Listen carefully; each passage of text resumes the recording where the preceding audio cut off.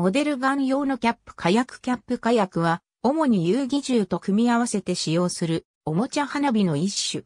重要雷管を玩具用に作り変えたもので、衝撃により発火させて、火花と発煙、破裂音などを楽しむものである。前奏式重要の雷管である、パーカッションキャップがそのルーツである。基本的な構造は、ほぼ同一で、外装が金属ではなく、プラスチックである程度の差異しかない。現在日本国内で流通しているものは、プラスチック製の小さなカップ状の容器に火薬が詰められ、薄い紙などで蓋がされた形をしている。キャップ火薬という名称は、英語のキャップという単語に、もともと火薬の意味があるため、直訳すると、火薬火薬となってしまう重言である。しかし、日本における外来語のキャップには、火薬の意味がないため、便宜上命名された造語だとされている。第二次世界大戦の終結後、日本国内では、新中軍の指示による大幅な銃規制の強化がなされた。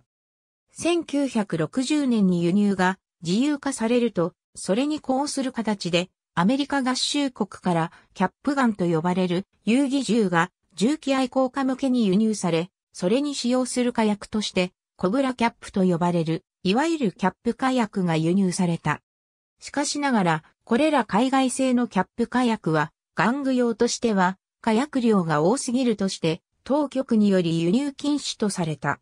代替品としては国産化された紙火薬が用いられたが、安全性やメンテナンス性に問題があった。1975年、金子が金キャップの名称で、キャップ火薬の国産化に乗り出した。これは低年齢向け遊戯重用として作られたもので、従来の紙火薬とほぼ同様の火薬をプラスチック製のキャップに詰めたものである。紙火薬と比較して安全性が高く不発が少ないこともあってヒット商品となり、すぐに同様の製品が他社からも発売されるようになった。これら低年齢向けの商品としては、一発ずつ使用する単発型のものとリング上に連結した8連発用、12連発用が販売されている。1979年には同じく金子が MGC と共同でモデルガンキャップの開発に成功した。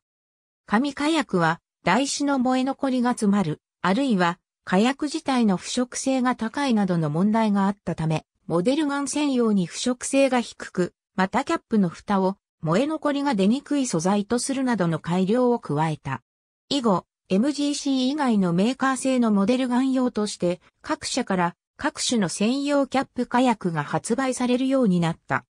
また、オートマチック用の場合は、ブローバックで必要な力が出やすい、燃焼速度の低い火薬を用い、リボルバー用には、銃口から派手に火花が出る火薬にするなどのバリエーションも生み出されている。